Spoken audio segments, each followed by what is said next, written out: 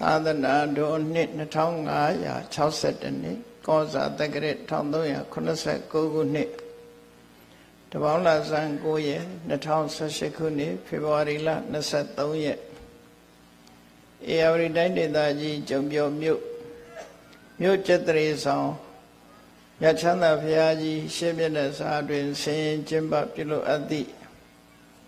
မြို့ကျက်သေးဆောင်မြတ်ချမ်းသာဘုရားကြီးနှင့်ယရဏရန်တိဇေယတော်မြတ်ကြီးတို့၏48ကြိမ်မြောက်ဗုဒ္ဓပူဇနီယအထိမ့်မအထုဓမ္မသဘင် အခမ်းအနား၌ဟောကြားအပ်သောတတိတံပစင်ညနှင့်နေ့စဉ်ဘဝအကြောင်းတရားဒေသနာတော်တတိတံပစင်ညနှင့် နေ့စဉ်ဘဝမိမိတို့ရဲ့နေ့စဉ်ဘဝမှာအရေးကြီးဆုံးအာအထာရဆုံးတရားနှစ်ပါးကတော့တတိနဲ့တမ္ပစင်ညပဲဖြစ်တယ်။ဒါကြောင့်မို့မြည်သည့်ကိစ္စပဲလုံးလုံး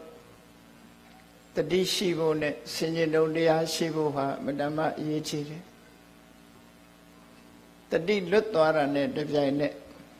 ဆင်ញင်တုံတရားမပါလိုက်တာနဲ့တပြိုင်နက်လွယ်မချွတ်ချော်ပြီးအကုသိုလ်တရားတွေဖြစ်ပွားတတ်တယ်ပေါ့ဒါကြောင့်မို့နေစဉ်ဘဝမှာတတိရှိရမယ်တမ္စင်ညဆိုတဲ့ပညာဆင်ញင်ရှိရဒီနေ့ခေတ်နိုင်ငံညာတိုင်းပြည်တွေမှာတောင်တတိလို့ဆိုတာ mindfulness ဆိုပြီး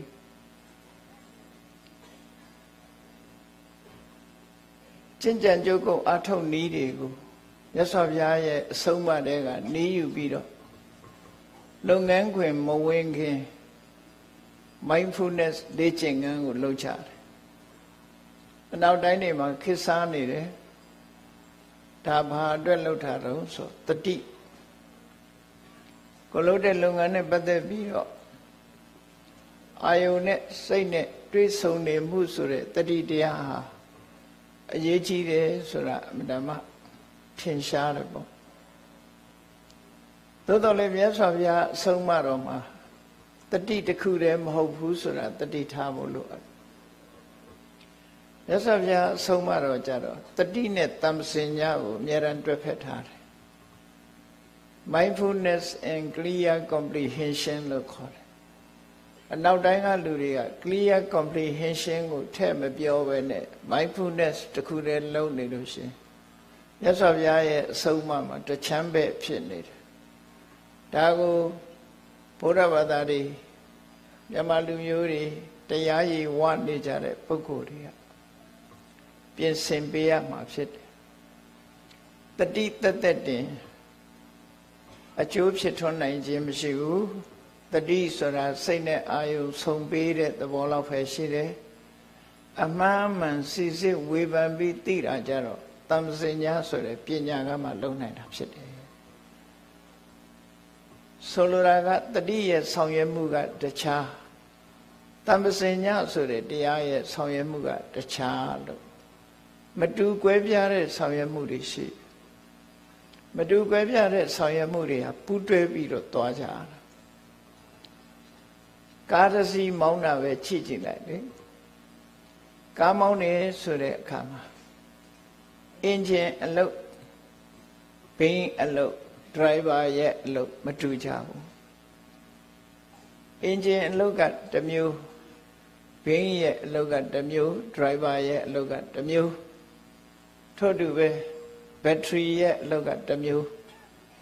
အလုံးပေါင်းစပ်လိုက်မှ ကားဟာမောင်းလို့ရတဲ့အနေအထားမျိုးရှိတယ်လူလန်းလျှောက်တာပဲကြည့်မျက်စိရဲ့အလုပ်ရဲ့ခြေထောက်ရဲ့အလုပ်ရဲ့ကြံတဲ့ခန္ဓာကိုယ်စိတ်ပိုင်းအလုပ်ဝေးဝေးလန်လန်မကြည့်နဲ့ကိုယ့်ကိုယ်ပြန်စဉ်းစားကြည့်လမ်းလျှောက်လာပြီဆိုတဲ့အခါမှာမျက်စိကကြည့်ပေးတဲ့အလုပ်ကိုလုပ်ရတယ်ခြေထောက်ကလှမ်းရတဲ့အလုပ်ကိုလုပ်ရတယ် မျက်စိကခြေထောက်လို့မသွားနိုင်ဘူးကြည့်အောင်ကြည့်ပေးတာခြေထောက်ကလည်းမျက်စိလိုမကြည့်နိုင်ဘူးလှမ်းယုံလှမ်းတာနှစ်ခုပေါင်းစပ်မှုမရှိလို့ရှိရင်ချော်လဲခြင်းဆိုတဲ့ဒီဒါမျိုးဖြစ်သွားတယ်တခုတည်းနဲ့မရဘူးဆိုတဲ့သဘောတရားကိုဘုရားဘာသာဝင်သူတော်စင်တွေအလေးနဲ့ထားမှတ်သားပြီးတော့တတိနဲ့တမ်စင်ညတွဲဖက်ပြီးတော့အလုံးလုံးကြတ တိမပါရင်လည်းမဖြစ်ဘူးတမ်စင်ညဆိုတဲ့ဆင်ញင်တုံတရားမပါရင်လည်းမဖြစ်ဘူးတတိကအာယုန်တစ်ခုကိုရယူပေးခြင်းကိစ္စကိုပဲဆောင်ရွက်တယ်အမှန်မှန်ဝေဖန်ခွဲခြားတာသူ့အလုပ်မဟုတ်ဘူးသူမလုပ်နိုင်ဘူးအမှန်မှန်ဝေချံခွဲခြားတာကတမ္ပစညတရားရဲ့အလုပ်သာဖြစ်တယ်သို့တော့တမ္ပစညတရားသည်စိတ်နဲ့အာယုန်ကို ဆုံပေးနိုင်ခြင်းမရှိဘူး မျက်စိနဲ့ခြေတော့မျက်စိနဲ့လက်ဆိုတာလို့ပေါင်းဆက်ထားတဲ့သဘောတရားကို အလေးနဲ့ထားစဉ်းစားဖို့ကြုံပြုံမျိုးဆိုတာဘုန်းကြီးတို့ ਨੇ ငယ်စဉ်ကဒီမှာအချိန်ချင်းတရားဟောခဲ့ဘူးလာချီနေခဲ့တဲ့နေရာပဲမစိမ့်တဲ့နေရာပေါ့နော်ပြီးတော့ဒီနေရာဒီဌာနမှာ တိရကုဆရာတော်ဘုရားကြီးတို့နှစ်စဉ်နှစ်တိုင်းတရားလာရောက်ချင်းမြင့်တဲ့ဒေသလည်းဖြစ်တယ်တတော်တရားရှိတဲ့သီရုဆရာတော်ဘုရားကြီးရဲ့တရားပုတ်ပေါင်းများစွာဒီမြတ်ချမ်းသာဓမ္မသဘင်မှာဟောကြားသွားတာလွန်တော်မူသွားတဲ့ဓမ္မတုတဆရာတော် အရှင်ပညာဇောတရဲ့တပည့်တကားဒီကြုံပြုံမြို့မှာအလွန်များပါဆရာတော်ဘုရားကြီးရဲ့ဓမ္မတုတဆရာတော်ရဲ့နိနာနေတရားတွေကိုခံယူပြီးတော့ဆွဆုံးမအတိုင်းလိုက်နာကျင့်သုံးကြတော့ကြုံပြုံနဲ့ပတ်ဝန်းကျင်ကလူတွေဟာတနစ်မဟုတ်တနစ်တလမဟုတ်တလထိုဆရာတော်ဘုရားကြီးနှစ်ပါးရဲ့အဆုံးအမ တရားဓမ္မတွေကနာယီဝနေတာဖြစ်လို့ဘာဟောမယ်ဆိုတာတောင်မှပဲသိနေလောက်တဲ့အနေအထားမျိုးရှိတယ်ပေါ့နော်သို့သောတတိနဲ့တမ္ပစညာတစ်ခုထားဖို့တော့လိုတယ်ဒီကနေ့ထိအောင်ဓမ္မဂတိကဆရာတော်တွေလာရောက်ပြီးစင်စမပြတ်ရက်ရှိတရားဓမ္မတွေကျင့်ပပြီးတော့နေတော့ တရားပွဲရှိလို့လာပြီးတော့နာလိုက်တယ်တရားစကားနာဝကပြန်လှည့်သွားတာမဖြစ်သင့်ဘူးတရားဓမ္မနဲ့ပတ်သက်ပြီးတော့မှတ်သားနာယူထားပြီးတဲ့အခါမှာဆင်ញင်သုံးသပ်မှုရဲ့လိုက်နာကျင့်သုံးမှုရဲ့ဒီနှစ်ခုဟာအရေးကြီးတယ်ဆိုတာမြတ်စွာဘုရားရဲ့အဆုံးအမတရားတော်တွေကိုကြည့်လိုက်မယ်ဆိုရင်လေမြတ်စွာဘုရားဟာနောက်ဆုံးမှာ ဓမ္မနုဓမ္မပฏิပတ်တိလို့ခေါ်တယ်အနုဓမ္မပฏิပတ်တိအနုဓမ္မဆိုတာလျော်တဲ့အကျင့်တရားကိုဆိုလို့ဘာအတွက်လျော်တာတုံးလို့ဆိုတော့ဓမ္မလို့ခေါ်တဲ့မဖို့နိဗ္ဗာန်လောကုတ္တရာတရားထိုလောကုတ္တရာတရားကို ရောက်စေနိုင်တဲ့လောကုတ္တရာတရားကိုဖော်ဆောင်ပေးနိုင်တဲ့ သီလသမာဓိပညာလို့ဆိုရယ်တိခါသုံးရအကျင့်မြတ်ကိုအနုဓမ္မလို့ခေါ်တယ်အဲ့ဒီအနုဓမ္မကိုကျင့်သုံးနိုင်မှသာလေလွတ်တဲ့အကျိုးပြီးမှဖြစ်တယ်ပေါ့တရားဓမ္မနာယူပြီးထိုတရားဓမ္မအတိုင်းလိုက်တာကျင့်သုံးမှုမပြုဘူးဆိုလို့ရှိရင်နာယီဝနေတဲ့တရားဟာနာဝကပဲပြန်သွားမှာဖြစ်တယ်ပေါ့နှလုံးသားထဲရောက်ဖို့လိုတယ် နှလုံးသားထဲရောက်အောင်နာယူကြပါကျင့်သုံးကြပါလိုက်နာကြပါလို့တရားပွဲလုပ်ရတဲ့အကျိုးကျေးဇူးဟာကြီးမားပါတယ်နှစ်ပေါင်းများစွာကြုံပြုံမြို့မှာတကယ်အမျော်မြင်ကြီးမားတဲ့ပုဂ္ဂိုလ်တွေကဇက်ပွဲတွေနဲ့ချင်းချင်းသေးကျင်းပလေးရှိတဲ့မြတ်ချမ်းသာဘုရားကိုဇက်ပွဲတွေဖယ်ရှားပြီးတော့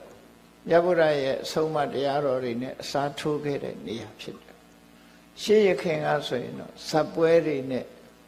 ဘုရားပွဲကျင်းပလေးရှိကြ။ဆရာတော်ကြီးတွေကတောင်ဆုံးမကြတယ်။တတနှစ်တစ်ခါငရဲရှာလူရွာဖျားပွဲဖျားပွဲတွေရဲ့ပုံပြက်နေတာတွေတနှစ်တစ်ခါငရဲရှာနှစ်စဉ်ဖျားပွဲတွေကျင်းပ ဝက်သက်ကျက်သက်ကျွေးမွေးဇပွဲတွေကြည့်အယက်သေးစားတောက်စားရံဖြစ်ကြလောင်းညစားကြနေဆိုတော့ဖျားပွဲတွေဟာရုပ်ပြက်ဆင်းရဲတွေဖြစ်နေတာကြုံပြုံမျိုးကအမျော်မြင်ရှိတဲ့လူကြီးလူကောင်းဘုရားဘာသာပညာရှိသူတော်ကောင်းတွေကဇပွဲတွေအစားမှန်ကန်တဲ့ရသော်ဘုရားကြိုက်တဲ့တရားဝဲတွေနဲ့အစားထိုးသွားတာဖြစ်တယ်အစားထိုးသွားလို့ တရားဓမ္မတွေစတင်တရားပွဲတွေကျင်းပလိုက်တဲ့အခါမှာလူတွေရဲ့ရင်ထဲမှာရှိတဲ့တရားတရားတွေဟာနှိုးကြလာတယ်နှိုးကြလာသည့်အတွက်ကြောင့်စေရနာစွမ်းအားတရားစွမ်းအားအလောဘအရောဓအမောဟဆိုတဲ့ကုသိုလ်စွမ်းအားတွေမြင့်မားလာတာဘယ်နေရာမှာပုံပေါ်လာတယ်လဲဆိုရင်မြတ်ချမ်းသာဘုရားကြီးဟာရွှေတွေပြည့်လာတာဒါဟာ လူတွေရဲ့ရှင်တွေကသရံဆွမ်းအားတွေမြင်မာလာတယ်ဆိုတာဖော်ပြတဲ့တာရကသက်တည်ပဲဖြစ်တယ်။ပွဲလန်းသမိုင်းနေကျင်းပနေတဲ့အချိန်တုန်းကဒီအနေထားမျိုးမရှိဘူးတဲ့။တရားပွဲတွေကျင်းပလိုက်တဲ့အခါမှာတရားပွဲရဲ့အကျိုးသက်ရောက်မှုကြီးမားလာတယ်။အေးထို့တူပဲမြတ်စွာဘုရားရဲ့ စေရီတော်မြတ်ကြီးရုပ်ဝါဆင်းတော်ကြီးတိနှောင်တက်နဲ့မြို့ကျက်သေးဆောင်ဖြစ်ကြသလိုကျုံပြောမျိုးသူမျိုးသားတွေဟာလည်းပဲစံပြပုဂ္ဂိုလ်တွေဖြစ်အောင်သို့မဟုတ်အေယဝရီတိုင်းမှာရှိကြတဲ့ကျုံပြောဒေသဧရိယာမှာရှိကြတဲ့တရားနာပရိသတ်ပေါင်းသူတော်ကောင်းတွေမိမိတို့ဒေသမှာစံပြပုဂ္ဂိုလ်တွေဖြစ်အောင်မြတ်ဗုဒ္ဓရဲ့ဆုံးမနဲ့ကျင့်သုံးနေထိုင်ကြဖို့ဟာအရေးကြီးပါတယ် မြတ်ဗုဒ္ဓရဲ့ဆုံးမဆိုတာလေးကိုချင်းချုပ်ပြောရမယ်ဆိုရင်လူဘဝလူဖြစ်လာလို့ရှိရင်စီးပွားတိုးတက်အောင်တစ်ဖက်ကကြိုးစားရမယ်ဒုတိယတစ်ဖက်ကကိုချင်းတရားကောင်းအောင်ထိန်းသိမ်းရမယ်စီးပွားဥစ္စာတိုးတက်ခြင်းကိုချင်းတရားကောင်းအောင်ထိန်းသိမ်းခြင်းဆိုမှတကယ်ဆွဲဆုံးဘဝမှာပြည့်စုံတဲ့ပုဂ္ဂိုလ်မျိုးဖြစ် အဲ့ဒီပုဂ္ဂိုလ်မျိုးကိုမြတ်စွာဘုရားကဒွိစက္ခုမျက်စိအမြင်နှစ်ခုရှိတဲ့ပုဂ္ဂိုလ်စီးပွားသာရှာပြီးတော့ကိုကျင်တရားမကောင်းမှုဆိုရင်ဧကစက္ခုမျက်စိတစ်ဖက်သာရှိသူလို့ခေါ်တယ်စီးပွားလည်းမရှာတတ်ဘူးကိုကျင်တရားလည်းမကောင်းဘူးဆိုရင်အန္တမျက်မမြင်သူကန်းလို့မြတ်စွာဘုရားကလောကမှာရှိတဲ့လူတွေသေုပ်ခွဲပြီးတော့ပြလိုက်တဲ့အခါ ဘုရားဘာသာဝင်သူတော်စင်တွေအနေနဲ့ထိစက်ခုအမြင်မျက်စိနှမျိုးရှိတဲ့ပုဂ္ဂိုလ်ဖြစ်ဖို့မတန်မှအရေးကြီးပါတယ်တစ်ဖက်ကစီဝါဥစ္စာတိုးတက်အောင်ကြိုးစားစီဝါဥစ္စာတိုးတက်တယ်လို့တစ်ဖက်ကလည်းကိုချင်းတရားတွေတိုးတက်မြင်မလာအောင်ကြိုးစားတရားဝဲတွေချင်းချင်းတဲ့ကျင်းပနေတဲ့ကြုံပြော်မြို့မှာမူရစေဝါဆိုတာကင်းစင်နေဆိုတာဘလောက်ကုန်ယူစရာကောင်းမလဲ ရာဇဝမှုတွေကင်းစင်တယ်အဲ့ဒီဟာတွေနဲ့ခုံယူထပ်ဖို့တတိတမ္စညာထားပြီးတော့ချိုးစားကြရမှာဒါမှသာလေရသော်ဘုရားရဲ့မြို့ကျက်သေးဆောင်ရဏတန်တိစေရီတော်ကြီးနဲ့စေရီတော်ကြီးရဲ့ခန္ဓာကိုယ်ရီတိုင်းမှာသတင်းသုံးတဲ့မြတ်ချမ်းသာရုပ်ဘွားတော်ကြီးတို့ရဲ့ချက်တည်း ထိုချက်တည်းရှိတယ်လို့မြို့သူမြို့သားတွေရဲ့ချက်တည်းရလဲဖះနဲ့လိုက်လျောညီထွေရှိနေမယ်ဆိုရင်အမှန်တမ်းချီးမွမ်းပွေရာကောင်းပါပဲရသော်ဘုရားလက်ထက်တော်ခါကာလတုန်းကတာဝတိမြို့သူမြို့သားတွေဆိုတာဂုံရှိသေးရှိမြတ်စွာဘုရားကျောင်းတော်သွားပြီးမနေ့ခေတ်မှာ လူတန်းမွေရာတွေနဲ့ကျောင်းကိုသွားတယ်ညနေခင်းမှာတရားနာသွားကြတယ်ဒီအလုံးနှလုံးထင်ထင်ရှားရှားပြုလုပ်ခဲ့ကြသည့်အတွက်ကြောင့်တာဝတိမြို့ရဲ့ခုံကျက်တွေဟာတိုးတက်မြင့်မားလာထို့တူပဲမြို့ကျက်တွေဆောင်စေရီတော်ကြီးနဲ့ရုပ်ဘွားတော်တို့နဲ့လိုက်ဖက်တဲ့မြို့သူမြို့သားနေသူနေသားတွေဖြစ်အောင်တို့တွေလည်းချင်းဆောင်ကြရမှာဖြစ်တယ်လို့ တတိတမ္ပစင်ညထားရမှာဖြစ်တယ်တတိဆိုတာတို့တွေနှစ်စဉ်တရားပွဲကျင်းပပြီးဘာတွေကိုတတိထားရမှာလဲမြတ်စွာဘုရားအဆုံးအမတရားတော်တွေနဲ့တို့နဲ့ဟာကင်းကွာသလားသို့မဟုတ်ဘုရားရဲ့အဆုံးအမတရားတော်တွေတို့နေ့စဉ်လိုက်နာသလားဆိုတဲ့တတိတမ္ပစင်ညဆိုတာ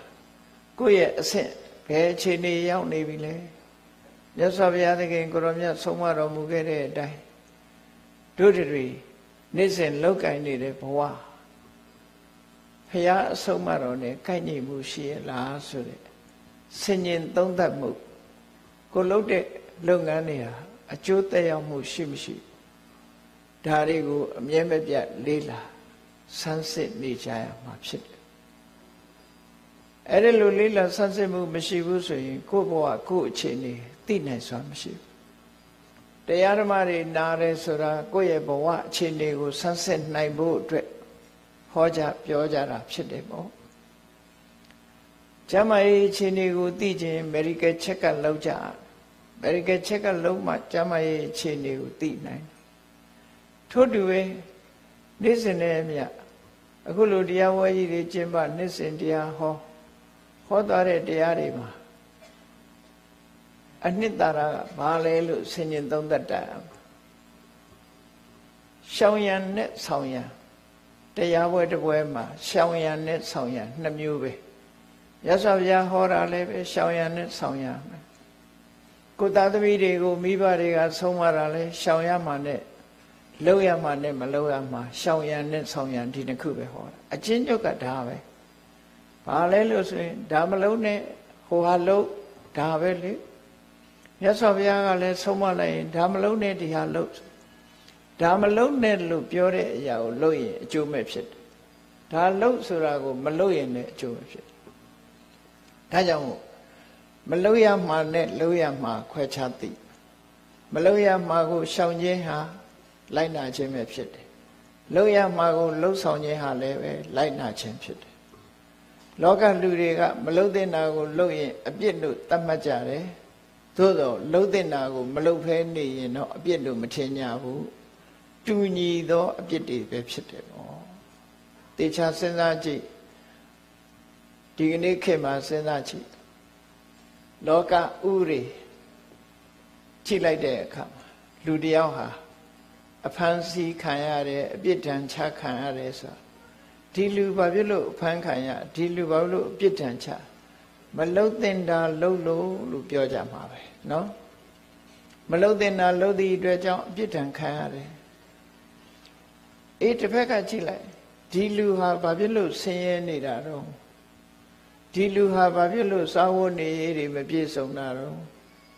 ဒီလူဘာဖြစ်လို့မတိုးတက်တာတော့ဆိုလှုပ်တင်တာမလှုပ်လို့ဟောတစ်ဖက်ကလည်းကြည့်မယ်ဆိုဒါမို့စာပေကျမ်းကနေမှာ မလှုပ်တင်တာကိုလှုပ်ခြင်းဟာအပြစ်ဖြစ်တယ်လို့ပဲလှုပ်တင်တာကိုမလှုပ်ခြင်းဟာလည်းအကျိုးဆုပ်ယုပ်စေတတ်တယ်ဒီနှစ်ခုကဘက်ဆုပ်ညှိထားအဲ့တော့ကိုယ့်ကိုတတိတံစင်ညဆိုငါမလှုပ်တင်တာကိုရှောင်မိရဲ့လားလှုပ်တင်တာကိုရောလှုပ်မိရဲ့လားလို့ဆိုတဲ့တတိမလှုပ်တင်တာတွေကဘာတွေလဲလှုပ်တင်တာကဘာလဲ စိတ်နဲ့အာယုစုံစည်းပြီးတော့ကြည့်လိုက်တဲ့အခါလှုပ်တင်တာကိုလည်းတတိယရမယ်မလှုပ်တင်တာကိုလည်းတတိယအေးတမ္ပစင်ညဆိုတာကြတော့မလှုပ်တင်တာဘာကြောင့်လဲလှုပ်တင်တာကဘာကြောင့်လဲစဉ်းစားဝိပန္ဒတ္တာပညာကြတော့တမ္ပစင်ညဆိုတဲ့အသိဉာဏ်ဆင်ញင်သုံးသက်တတ်ကြ အေးနေ့စဉ်ဖျားပေါ်လာပြီမဲ့လို့မလုံးတင်တာလုံးမိနေတတ်တာရှိသေးတယ်လေဖျားလာတိုင်းလုံးတင်တာလုံးတာမဟုတ်ဘူးမလုံးတင်တာလုံးမိနေတတ်တယ်လုံးတင်တာကြတော့မလုံးဖဲနေမိတတ်တယ်ဖျားပေါ်ရောက်တော့လဲပဲဖျားနဲ့ပတ်သက်ပြီးအာဃာရဝါဖြစ်တဲ့အလုပ်တွေလုံးမိလို့ရှိရင်မလုံးတင်တာကိုလုံးတယ်လို့ခေါ်ရမယ်ဖျားကိုရှ िख ိုးဝါချပြီး ဖရာရဲ့ဂုဏ်တွေကျေးဇူးတော်တွေကိုအာယုံပြုရမယ်အလုပ်မလုပ်ဘူးဆိုရင်လေဖရာပေါ်လာပြီးလှုပ်တဲ့နာမလုပ်ဘူးလို့ဒီလိုအဓိပ္ပာယ်ရတယ်ပေါ့အဲ့ဒီနှစ်ခုစလုံးဟာအာကာရဝဖြစ်ခြင်းနဲ့လှုပ်တဲ့နာမလှုပ်ခြင်းဒီနှစ်ခုဟာတူညီသောအပြစ်တွေသာဖြစ်တယ်စာပေကျမ်းဂန်မှာဘယ်လိုဆိုထားတော့ဆိုရင်အကတ္တပကရဏံဝိယကတ္တပါကရဏံပိဒောသောယေဝ အကတ္တပကရဏံမလုတဲ့နာကိုလှုပ်ခြင်းဟာတဲ့မလုတဲ့နာအကတ္တပကရဏံဝိယမလုတဲ့နာကိုလှုပ်ခြင်းကဲ့သို့ကတ္တပါကရဏံပိလှုပ်တဲ့နာမလှုပ်ဖဲနေခြင်းဟာလည်းပဲဒောသောယေဝအဖြစ်ပဲလောကလူတွေကတော့မလုံးတဲ့နာလှုပ်တာတခုပဲအပြစ်ထင်ကြတယ်လှုပ်တဲ့နာမလှုပ်တာကြတော့အပြစ်လို့သိမထင်ကြဘူး တူညီသောဆိုးကျိုးကိုဖြစ်စေတယ်ဒါကြောင့်မို့အဲ့ဒီအခြေအနေကိုအမှတ်ရတာကတတိဆင်ញင်သုံးသပ်နိုင်တာကတမ်စင်ညာလို့ကိုယ့်ရဲ့နေစဉ်ဘဝမှာဒါအလေးထားပြီးတော့လိုက်နာဆောင်ရကြအောင်ရသော်ဗျာဟောတဲ့အဆုံးအမတွေမှန်သမျှဟာမလို့တဲ့နာနဲ့လို့တဲ့နာဒီနှစ်ခုကိုခွဲခြားဟောကြားခြင်းဖြစ်လို့အချင်းညုတ်ပြောတဲ့အခါကျ တပ္ပပပတ္တအကရဏအောက်တန်းကြတဲ့စိတ်နေသဘောထားမျိုးတွေကိုယ်တဏ္ဍမှာမလုံမိဘူးအောက်တန်းကြတဲ့စိတ်ဓာတ်မျိုးတွေကိုယ်တဏ္ဍမှာမထားဘူးအောက်တန်းကြတဲ့စိတ်နဲ့လှုပ်ရတဲ့အကုသိုလ်အလုပ်တွေကိုမလုပ်မိဘူးရှောင်ကြရမယ်ဒါတခုတည်းနဲ့ပြီးလာလို့ဆိုမပြီးဘူးကုသလတုပတံပရာကုသလတဥပတံပရာ ထက်တန်းချပြီးအပြစ်ကင်းပြီးကောင်းကျိုးချမ်းသာပေးနိုင်တဲ့မွန်မြတ်တဲ့စိတ်နေသဘောထားတွေကိုယ်တဏ္ဍမှာပြည့်စုံအောင်လုပ်ရမယ်ဟောဒီနှစ်ခုပါအလုံးလည်းကြားဖို့နေတာမြတ်စွာဘုရားရဲ့အဆုံးအမတရားတော်အဲ့တော့ကိုယ့်ကိုဆင်ញင်သုံးသပ်ရမှာနည်းနည်းမိုးလင်းလာတဲ့အချိန်ကစပြီးညအထိအကုသိုလ်မှုငါဘာလုပ်မိတယ်လဲ ကုသိုလ်ကိုတော့ငါဘာလုပ်မိတယ်လဲမလုပ်ဖဲနေမိတယ်လဲဒီတစ်ခုကိုအများရန်ဆင်ញင်သုံးသပ်ဆင်ញင်သုံးသပ်မှသိတယ် medical check ကလုံးမှယောဂရှိမရှိသိနိုင်တယ်ထို့တူပဲ mental check ကကိုယ့်ရဲ့စိတ်သက်အခြေအနေကိုဆင်ញင်သုံးသပ်ပြီးတတိနဲ့တမ္စင်ညတွဲဖက်ပြီးတော့အလုံးမှာနေ့စဉ်ဘဝရဲ့အဖြေကိုထုတ်နိုင်မှာဖြစ်တယ်။ များသောအားဖြင့်လောကလူသားတွေဟာစီးပွားရေးနဲ့ပတ်သက်ပြီးတော့အဖြေထုတ်လို့ရှိကြတယ်။အယောင်းဝယ်ပြီးပြီးဆိုင်ပိတ်ပြီးဆိုတဲ့အခါမှာဒီနေ့ဘလောက်ဖိုးရောင်းရတယ်ဘလောက်မြတ်တယ်ဘလောက်အရင်ကြတယ်ဘလောက်အမျက်ချမ်းနေဆိုတာကိုတော့သုံးသပ်ကြည့်ထကြတယ်လောကီစီပါရေးဘက်မှာသုံးသပ်ကြည့်တယ်လို့ပဲ နည်းနည်းမိုးတော့အလင်းရောက်တဲ့အချိန်မှာပဲဖြစ်စေညနေအိယာဝင်တဲ့အချိန်မှာပဲဖြစ်စေအေးမနေ့မိုးလင်းကလေးကမျက်စိလေးနှလုံးဖွင့်နားလေးဆွင့်ကြားလိုက်တဲ့အတန်လေးမြင်လိုက်ရတဲ့အရာတွေနဲ့ပတ်သက်ပြီးလောဘတွေဘယ်နှခါဖြစ်လဲဒေါသတွေဘယ်နှခါဖြစ်လဲအမှန်မသိတဲ့မောဟတွေအာယုံပေါ်မှာအမတ်တမဲ့နေလိုက်သည့်အတွက်ကြောင့် မမနာတွေအိတ်တာတွေမစ္စရိယာတွေငါစိတ်ထဲမှာဘယ်နှခါဝင်ရောက်လာသလဲအာသဝတရားတွေဟာမျက်စိကဘယ်နှခါစီးဝင်လာသလဲနားကဘယ်နှခါစီးဝင်လာသလဲဆိုတဲ့ mental check ကိုလုပ်တဲ့မလို့သိရင်တော့ကိုယ့်အကိုဟုတ်နေတာသိနေမသိဘူးလေဟောတည်တည်ချာချာလေးနဲ့ထားပြီးတော့စဉ်းစားကြည့် ကိုယ့်ရင်ထဲမှာအကုသိုလ်ဘလို့ဝင်လာတယ်လဲဆိုတာကိုစဉ်းစားရအောင်ဝင်လာတဲ့အကုသိုလ်ကိုယ့်ရင်ထဲရောက်လာပြီဆိုရင် ကိုဟာအရှုံးပဲဘာကြောင့်လို့ဆိုလို့ရှိရင်ဝင်လာတဲ့အကုသိုလ်ကကျမ်းမာရေးကို ထိခိုက်စေတဲ့အရာပဲဖြစ်အကုသိုလ်ဆိုတာကျမ်းမာရေးကိုထိခိုက်တဲ့အရာဒါမို့လို့အကုသလနဲ့ကုသလခွဲခြားတဲ့အခါမှာ ကုသလကိုအာရောချယောဂခင်းခြင်းလို့ဖွင့်ဆိုပြီးအကုသလကျတော့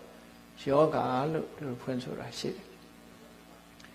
စိတ်ကိုမကြမ်းမာစေတတ်တဲ့အစိတ်အတောက်တွေကိုယ်စိတ်ထဲရောက်လာတယ်လို့သူဆိုလို့တယ်ပေါ့အဲ့ဒီရောက်လာတာကိုတတိရှိလိုက်မယ်ဆင်ញင်တုံတရားနဲ့မကောင်းကျိုးပေးတတ်တဲ့အကုသိုလ်ဆိုတာဒါပဲလို့ သိလိုက်တာနဲ့တပြိုင်တည်းကိုယ့်ရင်ထဲမှာကြာကြာမထားပဲထုတ်ပြရအဲ့လိုမထုတ်နိုင်လို့ရှင်ထဲမှာသိမ့်ပြီးသွားပြီဆိုလို့ရှင်အစိတ်တောက်ဖြစ်လာအပင်ငယ်ချတယ်ဆိုတာအဲ့ဒါကြောင့်ကြာအဲ့တော့တရားကိုကျင့်ကြံကြိုးကိုအထုတ်တယ်ဆိုတာရိတ်တာဝင်ပြီးတော့တရားထိုင်နေမှတရားမဟုတ်ဘူးเนาะပို့ပြီးတော့အရေးကြီးတာရိတ်တာလဲထိုင်ရမှာပဲထိုင်တဲ့အခါသွားထိုင်အရေးအကြီးဆုံးက နေ့စဉ်ဘဝမှာစာရင်ဖြစ်ဖြစ်တောက်ရင်ဖြစ်ဖြစ်နေထိုင်ရင်ဖြစ်ဖြစ်စကားပြောရင်ဖြစ်ဖြစ်အလုံးလုံးရင်ဖြစ်ဖြစ်ဖြစ်မျက်စိကမြင်လိုက်တဲ့အစင်းပေါ်မှာလောဘဖြစ်လာသလားဒေါသဖြစ်လာသလားစင်ကြင်တုံကင်းမဲ့တဲ့မောဟဖြစ်လာသလားမမာနတွေဖြစ်လာသလားဆိုတဲ့ဒီစင်ကြင်သုံးသပ်မှုလေးတတိဆိုတာလေတတိနဲ့ပညာ ပေါင်းဆက်ပြီးတော့ထိမ့်သိမ်းဆောက်ရှောက်ကြမှာဖြစ်တယ်။ဒါမို့အိန္ဒြိယတံဝရသီလဆိုတာတတိကိုအဓိကထားပြောတာပဲမြတ်စွာဘုရား။သီလချင်းစဉ်အနေနဲ့ထည့်ပြီးတော့ပြောတာ။အဲ့ဒါဟာတရားအထုတ်မှလုပ်ရတာမဟုတ်ဘူး။နေ့စဉ်ဘဝမှာစဉ်းစားကြည့်လိုက်တရားနာတယ်ဆိုတာဒီအလုပ်တွေလုပ်ဖို့နာကြတာပေါ့နော် နေ့စဉ်ဘဝမှာကိုယ့်ရဲ့ယင်နဲ့နှလုံးထဲမှာအကုသိုလ်နဲတဲ့နဲအောင်ငါယင်ထဲမှာဖြစ်နေတာအပြစ်ကင်းတဲ့တရားလားအပြစ်ရှိတဲ့တရားလားစဉ်းစားဆင်ခြင်တတ်ရအဲ့လိုစဉ်းစားဆင်ခြင်တတ်တာရဲ့တတိယတာရဲ့ဒီနှစ်ခုပေါင်းစပ်လိုက်တာတတိတမစင်ညာမြတ်စွာဘုရားကဟောတယ်တတောဘိက္ခုီတမ္ပဇာနောကာလံအာကင်ခေယခြေသားယဟန်တို့ တတိရှိရှိ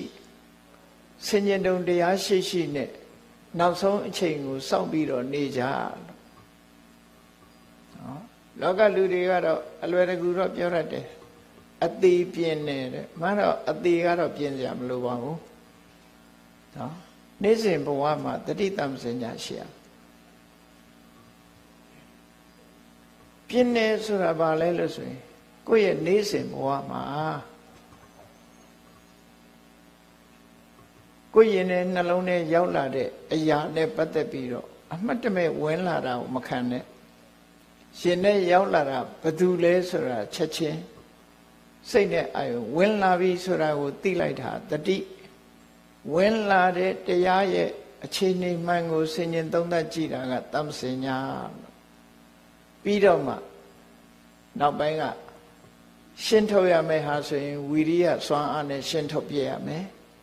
လက်ခံရမယ်ဆိုလို့ရှိရင်လည်းပဲပီတိတို့တမာတိတို့နဲ့လက်ခံရမှာဖြစ်တယ်ကိုယ်ရင်နဲ့ရောက်လာတဲ့ကုသိုလ်အကုသိုလ်နှမျိုးအမြဲတမ်းစောင့်ကြည့်တာတတိကုသိုလ်အကုသိုလ်ခွဲခြားသိတာကတမ္ပစေညကုသိုလ်ဝင်လာလို့ရှိရင်ပြုံးပြုံးရွှင်ရွှင်နဲ့လက်ခံထားတိုးတဲ့တိုးအောင်ကြိုးစားဒီဟာလေးပျောက်မသွားအောင်ထိမ့်သိမ်းဆောက်ရှောက် အကုသိုလ်ဝင်လာပြီဆိုရင်မဝင်ခင်ကမဝင်အောင်ဟန်တာဝင်လာပြီဆိုရင်ဖယ်ရှားဖို့ကြိုးစားဒါကိုတမဝါယမခေါ်တာအဲ့တမဝါယမဆိုတာရိတ်တာသွားမှလောက်ရမှာမဟုတ်ဘူးအိမ်မှာနေရင်လောက်ရမယ့်အရာတွေဘုရားဗဒဝင်သူတော်စင်တို့ရဲ့ဘဝမှာနေ့စဉ်လုံနိုင်မှာကိုယ်အိမ်မှာရှိတဲ့အရာတွေတန်ရှင်းရေးနေ့စဉ်လုပ်ရတယ်လို့ရှင်တဲ့နှလုံးထဲမှာလည်းတန်ရှင်းရေးလုပ်ပါ လောကလူတွေက physical clear တော့လုံးလေးရှိကြတယ် mental clear မလုပ်ဘူးနော်ပြောကြတယ်တန်တန်ရှင်းရှင်း keep clean ဆိုပြီးတော့ပြင်ပအရာဝတ္ထုတွေညစ်ပေနေတာကိုသိအဲ့ရထားလိုက်တာနဲ့တပြိုင်နက်မျက်နှာတစ်တယ်သွားတိုက်တယ်ဘာလို့ထားလဲ physical clean cleaning ပဲ ရုပ်ခန္ဓာကိုယ်ကြီးတန်ရှင်းအောင်လုပ်တာ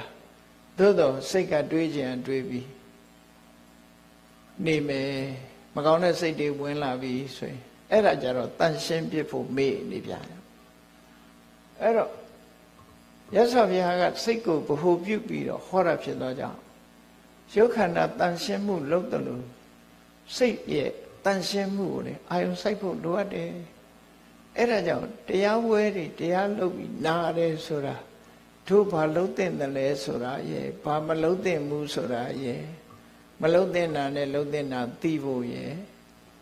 မလုံးတဲ့နာကိုရှောင်ဖို့ရဲ့လုံးတဲ့နာလုပ်ဖို့ရဲ့ဒီအကျိုးအမြတ်တွေကိုရရှိဖို့ရအတွက်အခုလိုတရားပွဲလုပ်တရားနာကြတယ်လို့အထိပ္ပယ်ရှာနော်အဲ့ဒီလိုလုံမှကိုယ့်ရဲ့ဘဝဟာတိုးတက်မြင့်မားလာ တမန်လေးလောက်တင်နေ့စဉ်မှာလူစားရှိတာလူလိုက်မယ်လှုပ်ရှားရှိတာလှုပ်လိုက်မယ်သို့တော့ကိုယ်ခန္ဓာကိုယ်စိတ်မှာဘာတွေဖြစ်နေတယ်ဆိုတာမသိဘူးဆိုလို့ရှိရင်တော့နိဗ္ဗာန်ရဖို့ရအခြေအနေတော်တော်ဝေးနေသေးတယ်လို့ပဲပြောနိဗ္ဗာန်ဆိုတာအသာထားကံကောင်းလာမှနတ်ပြည်လူပြည်ရောက်မှာဖြစ်တယ်။ ဘာကြောင့်လဲဆိုရင် mental cleaning မလုပ်ဘူးလေစိတ်စင်ကြယ်အောင်မလုပ်တာစိတ်စင်ကြယ်အောင်မလုပ်သည့်အတွက်ကြောင့်အာယုန်နဲ့တွေ့လာတဲ့အခါမှာဘာဖြစ်လဲဒေါသဖြစ်เสียရှိရင်လည်းဒေါသတွေဖြစ်လောဘဖြစ်เสียရှိရင်လည်းလောဘတွေဖြစ်အဲ့ဒီလိုဖြစ်လာပြီဆိုရင်ကိုယ်စိတ်ထဲမှာအညစ်အကြေးတွေကိုလက်ခံသေကံဤမှာဒီလိုဖြစ်ပြီဆိုလို့ရှိရင်ဘယ်နည်းနဲ့တွန်းလှန်မလဲ လောဘဖြစ်မှတောင်သိလိုက်မှာမဟုတ်ဘူးဒေါသဖြစ်မှတောင်သိလိုက်မှာမဟုတ်ဘူးမသိလိုက်လို့ရှိရင်လောဘနဲ့သိလို့ရှိရင်ပြိတ္တာပြေတဲ့ဒေါသနဲ့သိလို့ရှိရင်ငရဲပြေမောဟနဲ့သိလို့ရှိရင်တရိษံပေါ့ဟောအလွယ်တကူနဲ့ရောက်သွားနိုင်တယ်ပေါ့ဘာဖြစ်လို့တော့ဆိုရင်သူတို့အင်အားအမတမကြီးတယ်နေ့စဉ်နဲ့အမြကိုယ်တဏ္ဍမှာဒီတဘာဝတရားတွေကိုထိမ့်နိုင်သိမ့်နိုင်ဆိုမရှိဘူးဆိုရင် ကုသိုလ်ကောင်းမှုတွေဘလောက်ပြုပြုတည်ငါတခဏလေးမှာအတွင်းလေးမှာလောဘလွှမ်းမိုးခံလိုက်ရတယ်ဒေါသလွှမ်းမိုးခံလိုက်ရတယ်မောဟလွှမ်းမိုးခံလိုက်ရတယ်အဲ့ဒီအချိန်လေးမှာဘဝဏီကုံချုပ်သွားတယ်ဆိုလို့ရှိရင်တော့အဲ့ဒီစိတ်အခြေအနေအတိုင်းပဲဘဝတစ်ခုနောက်ဘဝဆိုတာရောက်သွားမှာဖြစ်တယ်ပေါ့ဓမ္မဂတိကတွေဟောတဲ့ထက်လည်းအချိန်ချင်းပါဘူးမှာပေါ့သို့တော့ဇလန်းတစ်ခုအနေနဲ့နားထောင်ပြီးတော့ ငါကတော့ဒီလိုမဖြစ်ဘူးလို့တွေးချတယ်နော်ငါကတော့ဒီလိုဖြစ်မှာမဟုတ်ဘူးလို့အဲ့ဒါလို့မဟုတ်ဖဲနဲ့ငါရောဘယ်လိုနေမလဲဒီလိုဖြစ်ဆိုပါစို့ပတိနေရီကောသရမင်းကြီးရဲ့မိဖုရားမန္လိကာဖရာတရားမဓမ္မကြီးညိုတယ်အသရိတအလှကြီးကိုဥဆောင်ပြီးတော့စီမံဆောင်ရွက်ခဲ့တယ် ဘုရင်မင်းတရားကြီးလမ်းလွဲနေတာတွေကိုအကုန်လမ်းတက်ပြီးခဲ့တယ်ကောသရအိမ်မဲ့16ချက်ကြောင့်ကြောက်ကြတဲ့ဖြစ်နေတဲ့ဘုရင်ကြီးစိတ်ငြိမ်အောင်လုပ်ပြီးရသော်ဘုရားထံပို့ပေးခဲ့တယ်ဒီလိုမေယမင်းကြီးကိုထိန်းချောင်းပြီးလမ်းမှအောင်လှုပ်ပေးခဲ့တဲ့မန္လိကမေယပြာဟာသူစိတ်ကိုသူမထိန်းချောင်းနိုင်သည့်အတွက်ကြောင့်တေဂဏိမှာအမှားတစ်ခုလှုပ်ပြီး အဲ့ဒီအမှားတစ်ခုလှုပ်တဲ့ဒေါမနတဝမ်းနဲ့ချေကွယ်မှုကြောင့်သူဟာအဝိစိငရဲကို9ရက်ကြာသွားသေးတယ်ဆိုတာဒါသက်သေတာရကပဲဧရကပတ္တနဂါဆိုတာလေဒီဇလန်းလည်းပဲဒီကြုံရမြို့မှာဓမ္မဂရိကတွေဟောဖို့မှာပဲနော်ဟောနေကြမှာပဲရဟန်းတော်တစ်ပါးဟာသီလဖြူစင်ဒုတင်အကျင့်နေနဲ့ ကမ္မထတရားကြိုးစားအထုတ်အနှစ်2000တိုင်တိုင်တရားအထုတ်လာတယ်သို့တော့လှေနဲ့ခရီးသွားတဲ့အခါမှာကန်းဆက်မှာပေါက်နေတဲ့ပြိမြက်ကိုအမတ်တမဲ့လှမ်းဆွဲလိုက်တယ်ပြိမြက်ပင်လေးပြတ်ပါသွားတယ်လှေသွားတဲ့အချိန်ပြတ်သွားတာမတော်တဆဆိုပြီးတော့အမတ်တမဲ့နေလိုက်တယ်ဒေဂဏီရောက်တဲ့အခါကျတော့ သူ့တီလာသူဆင်ញင်စဉ်းစားလိုက်တဲ့အခါမှာအမတ်တမဲ့နေမိလိုက်ပြီးတော့ဒေသနာမကြအာဘမဖြေလိုက်မိတဲ့ဒီပြစ်မှုတွေကသူ့လည်းပင်လာပြီးတော့ကျိုးခွင်းကြီးဆွတ်ထားသလိုခံစားရတယ်။ပြင်းပြလေးတစ်ပင်ကိုသွားဖြတ်မိတဲ့အပြစ်ကြီးပေါ်မှာယူချုံမရဖြစ်ပြီးတည်တဲ့အခါမှာလူပြေနတ်ပြေတောင်မဖြစ်ဘဲနဲ့ဖားဖားစားရတဲ့နော် ဖားသာငါးသာစားတဲ့မွေဘဝကိုရောက်သွားတယ်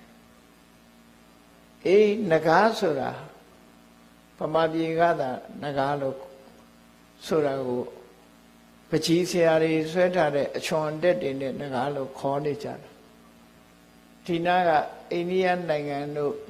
သီရိလင်္ကာနိုင်ငံတို့သွားကြည့်လိုက်လို့ရှိရင်ကောပရာဆိုတဲ့မွေဟောက်ကြီးတွေကိုနာကားလို့ခေါ်တာ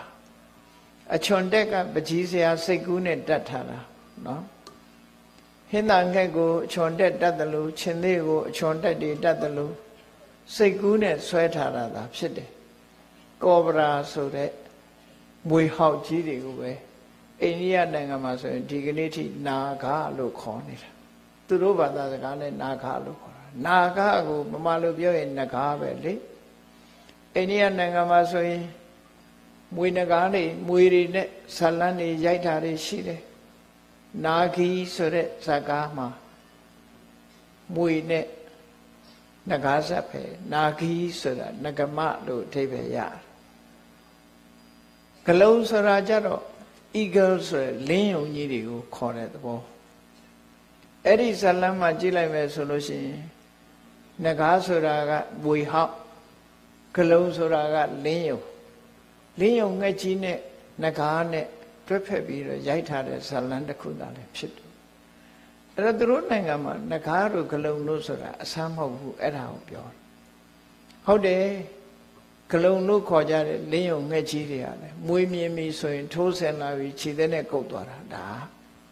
အဲ့ဒါဟာရှုမြင်နေကြမြင်ခွင့်မဲ့ဖြစ်တယ်မြေကြားတွေကပဲသွားသွား ရှည်တွေကပဲသွားသွားမွေးမြင်ထိုးဆင်လာပြီးတော့လင်းယုံငှက်ကြီးတွေဟာအမတမတန်ဆွမ်းတဲ့ခြေသက်ကြီးတွေနဲ့ကုတ်ယူသွားတာအဲ့ဒါလို့နာဂလို့ဆိုတာသွားဖြစ်ရတယ်တရိษံဘဝဖားစားရတယ်ဖားကိုအာဟာရအဖြစ်စားသုံးတဲ့တရိษံဘဝကိုရောက်သွားရတယ်လို့ဆိုတာလေကြည့်လေ mental defilement ဆိုရယ်စိတ်ရဲ့အညစ်အကြေးတွေဟာ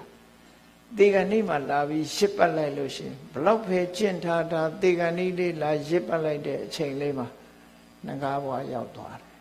သွားရောမသေးမချင်းခံမိတော့ပဲဇလန်းတစ်ခုကမပြတ်သေးသမျှတစ်ချက်မှားသွားလို့ရှိရင်ဒုက္ခရောက်သွားတာပဲဒါကြောင့်မလို့မင်တယ်ချက်ကဆိုတဲ့ ကိုယ်စိတ်ကိုအမြဲတမ်းစောင့်ကြည့်တဲ့အလုပ်ကိုလုပ်တာကိုတတိတမ္ပစင်ညာလို့ခေါ်တယ် mindfulness and comprehension ဒါကြောင့်မို့နေ့စဉ်ဘဝမှာတတိလည်းရှိရမယ်တမ္ပစင်ညာလည်းရှိရမယ်သီရိဆရာတော်ဘုရားကြီးတို့လွန်တော်မူသောတဲ့ဓမ္မဒုဒဆရာတော်ဘုရားကြီးတို့ကျုံပြမြို့မှာ ဆုံးဝဩဝါဒပေးပြီးတရားတွေများစွာဟောသွားတဲ့ဆရာတော်ကြီးတွေအဲ့ဒီဆရာတော်ကြီးတွေရဲ့အဆုံးအမအရေးကြီးဆုံးဒီဆရာတော်ကြီးတွေဆုံးမသွားတဲ့အဆုံးအမစကားကိုသိဖို့ဆိုတာဘာအရေးကြီးလဲတတိနဲ့တမ္ပစင်ညာဒီနှစ်ခုပဲဘုန်းကြီးတို့ဒီနေ့ညဟောကြတာပါတတိနဲ့တမ္ပစင်ညာပြောတော့လွယ်လိုက်တယ်သို့တော့နေ့စဉ်ဘဝမှာ တတိရှိနေဖို့နဲ့ဆင်ញင်ုံတရားရှိနေဖို့ဟာအမှန်တမ်းအရေးကြီးပါတယ်မြတ်စွာဘုရားကိုယ်တိုင်ကတတိပဋ္ဌာန်တရားတော်မှာဆိုရင်တတိတမ္ပစင်ညာပပဆိုပြီးတော့တည်တံ့ဟောထားတာရှိတရားထုံးတဲ့နေရာမှာလိုက်နာရမှာမဟုတ်ဘူးဒီကနေ့ခေတ်မှာကြတော့တတိတံပစင်ညဆိုတဲ့စကားပြောလိုက်တာနဲ့ရိတ်တာစကားဖြစ်သွား ရိတ်တာစကားဖြစ်သွားတယ်ဆိုတဲ့တရားစခန်းဝင်တဲ့လူတွေရဲ့အလုတ်လို့ထင်သွားတယ်ဟိုရက်ထဲနေတဲ့လူတွေကငါနဲ့မဆိုင်ဘူးလို့ဖြစ်သွားအဲ့ဒီလိုမထင်ကြပါနဲ့ရသော်ဘုရားတရားတော်ကနှုံးမို့ဆိုကျင့်တဲ့အချိန်လေးကအလွန်နည်းနေလိမ့်မယ်နော်အဆင့်လိုက် level တို့ degree တို့ဆိုတာရှိတယ်ပုံမှန်အားဖြင့်ဒုဒတွေဟာ ရုပ်ခန္ဓာကိုယ်ကြီးကိုနေ့စဉ်နဲ့အမျှရေမိုးချိုးဖိလိမ်ပြင်ဆင်ပြီးတော့တန်တန်ပြတ်ပြတ်အဝတ်တွေဝတ်ပြီးတော့ခန္ဓာကိုယ်ကိုအလှဆင်ကြသလိုကိုယ်စိတ်ကိုလည်းပဲအလှဆင်ညာသားမှာလို့အလှဆင်ညာပါလို့ဘယ်လိုလှဆင်ရမလဲနည်းနည်းမိုးတော့လင်းရောက်တဲ့အချိန်ကစသို့မဟုတ်ညအိယာဝင်တဲ့အချိန်မှာကြည့် ကုသိုလ်အကုသိုလ်နှစ်ခုခွဲခြားသိသိပြီးတဲ့အခါမှာဒီကနေ့ကုသိုလ်နဲ့အကုသိုလ်ဘယ်ဟာကများတယ်လဲကုသိုလ်ဘယ်နှချိန်ဖြစ်တယ်လဲအကုသိုလ်ဘယ်နှချိန်ဖြစ်တယ်လဲအိယာဝင်ကနေလေးမှာစဉ်းကျင်စဉ်းစားကြည့်ပါဒါနောက်ဆုံးကိုပြောတာတကယ်ကတော့မြင်တဲ့အာယုန်တိုင်းကြားတဲ့အာယုန်တိုင်းမှာဒီလိုဆင်ញင်နိုင်စွမ်းရှိရမယ်ဒီလိုဆင်ញင်နိုင်စွမ်းရှိနေတာမှ ကိုယ့်ကို mental cleaning စိတ်ကိုတန်ရှင်းအောင်လုပ်နေတယ်လို့သူတို့ပြောဘာနဲ့ဆင်ញင်နေရမလဲဆိုရင်တတိနဲ့တမ္ပစညာဒီနှစ်ခုပေါင်းစပ်ထားမယ်ပေါင်းစပ်ပြီးတော့ကြည့်နေရအဲ့ဒါလို့ဆင်ញင်သုံးသပ်ပြီးတော့ကြည့်နေတာအလေးချင်းတစ်ခုလှုပ်ထားပြီးတော့အလေးနဲ့ထားပြီးတော့ဆင်ញင်သုံးသပ်ကြည့်မယ်ဆိုရင် ကိုယ်တဏ္ဍမှာဖြစ်ပေါ်လာတဲ့အကုသိုလ်ညစ်ကြေးတွေရသော်ဗျာဟောထားတဲ့အတိုင်းပဲတတိတမ္ပစင်ညာနဲ့အဖြေထုတ်လိုက်ပြီးတဲ့နောက်မှာအလုတ်လို့ရမှာကပါလဲတမ္မာဝါယမမင်္ဂန်နဲ့ကျုပ်ပအထုံမှုတတိနဲ့တမ္ပစင်ညာကအဖြေထုတ်ပေးလိုက်တယ်ဒါအကုသိုလ်ဒါအကုသိုလ်ဟုတ်ပြီတမ္ပစင်ညာတရားကအဖြေထုတ်ပေးလိုက် တတိကအာယုန်နဲ့စိတ်နဲ့မကွာအောင်ဆက်ဆက်ပေးတယ်ဆက်ဆက်ပေးလိုက်တဲ့အရာပေါ်မှာတမ္ပစင်ညာကကုသိုလ်အကုသိုလ်ခွဲပေးလိုက်တယ်အဲ့ဒါလို့ကုသိုလ်အကုသိုလ်ကွဲပြားသွားပြီဆိုတဲ့အချိန်မှာတမ္မာဝါယမလို့ဆိုတဲ့မှန်ကန်တဲ့ကြိုးပမ်းမှုတစ်ခုကနောက်ကလိုက်လာဘယ်လိုလိုက်လာသလဲကိုယ်ရင်ထဲမှာဖြစ်လိုက်တဲ့တရားကအကုသိုလ်ဆိုရင် ဆက်မဖြစ်အောင်ထိမ့်သိမ့်ရမယ်အမတ်တမဲ့ဝင်လာပြီးတော့အတင်းဝင်ရောက်ပြီးဖြစ်ပေါ်လာပြီးဆိုရင်တွန်းထုတ်ဖယ်ရှားဖို့ကြိုးစားရမယ်အဲ့ဒါကိုပြောတာစာပေကျမ်းကမှာမှာအနုပ္ပန္နနံပါပကနံအနုပ္ပါဒာယဝါယမောတဲ့မဖြစ်သေးတဲ့အကုသိုလ်တရားတွေမဖြစ်ဖို့ကြိုးပမ်းတာ အင်္ဂုတ္တရနိကေမှာဆိုရင်မြတ်စွာဘုရားကတံဝရောလို့ခေါ်တယ်တံဝရပိတ်ဆို့ရမယ်လူတွေကညအိတ်တဲ့ခါခြင်တွေကြိုက်တယ်ဆိုလို့ရှိရင်ခြင်မဝင်အောင်တကားပိတ်အေးခြင်အောင်ချပြီးတော့ခြင်မဝင်အောင်ပိတ်ကြပြီခြင်မဝင်နိုင်အောင်လုပ်ပြီးအိတ်ကြတယ်ဒါပိတ်ဆို့တယ်လို့ခေါ်ထို့တူပဲကိုယ့်ရဲ့ရင်ထဲနှလုံးထဲမှာလောဘဒေါသမောဟဆိုတဲ့အကုသိုလ်တွေမဝင်အောင်ပိတ်ဆို့ရပိတ်ဆို့ဖို့ကြိုးစား ဒီထဲကချင်းဆိုတဲ့အကောင်ကလည်းကြမ်းကြမ်းဖမ်းဖမ်းအပေါက်ရှာပြီးတော့ဝင်လာတယ်ဝင်လာရင်ဘာလို့ရက်တောင်နဲ့ရက်ထုတ်ပစ်တယ်